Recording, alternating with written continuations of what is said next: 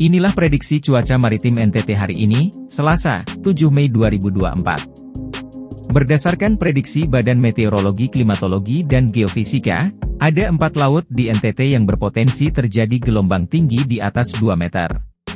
Dalam rilis di laman resminya, BMKG menyebut empat laut yang berpotensi gelombang tinggi di atas 2 meter tersebut yakni perairan selatan Jawa hingga Bali, Lombok, Sumba, perairan Pulau Sabu, Laut Sau bagian selatan dan Samudera Hindia Selatan Jawa hingga Bali, Lombok, NTT. Karena itu BMKG mengimbau para pelaku pelayaran agar waspada terhadap potensi gelombang tinggi tersebut. Pola angin di wilayah Indonesia bagian utara hari ini dilaporkan bergerak dari barat laut, timur laut dengan kecepatan angin berkisar 8-30 knot.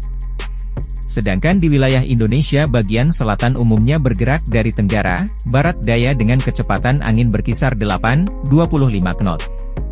Kecepatan angin tertinggi terpantau di Laut Arafuru bagian timur, Samudra Hindia Selatan Banten, perairan utara Papua dan Samudra Pasifik Utara Papua.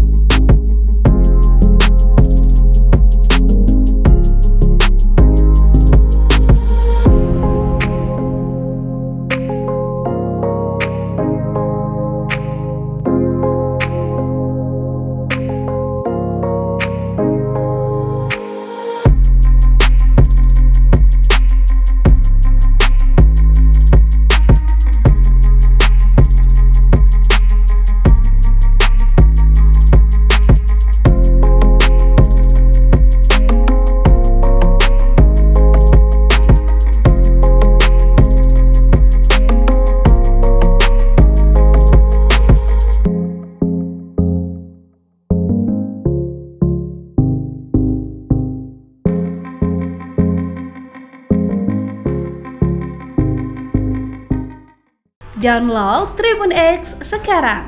Menghadirkan lokal menjadi Indonesia.